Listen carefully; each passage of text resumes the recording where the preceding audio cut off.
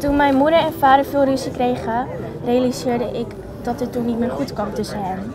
Ik was toen vrij jong en ik kon niet echt begrijpen waarom of hoe. Ik voelde me toen erg alleen. Na alles wat er, is, wat er gebeurd is, is het belangrijk om te houden dat het, dat het misschien beter was. En daardoor kreeg ik en mijn moeder uiteindelijk samen die vrijheid. Toen ik klein was, um, begon al snel vroeg dat ik eigenlijk heel erg alleen voelde omdat mijn ouders veel ruzie maakten.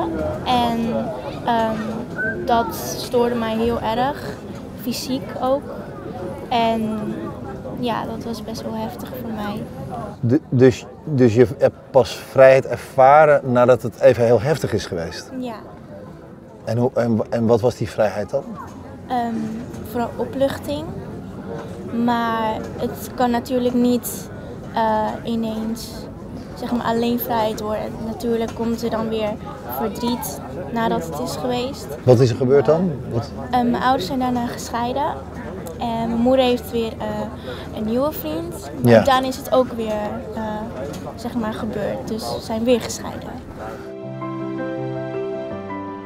Het is vooral belangrijk om te weten dat niet iedereen kan zeg maar, gelijk vrijheid hebben. Want zo is de wereld ook niet. Nee. En ik denk dat we soms dingen nodig hebben om te realiseren dat vrijheid bestaat.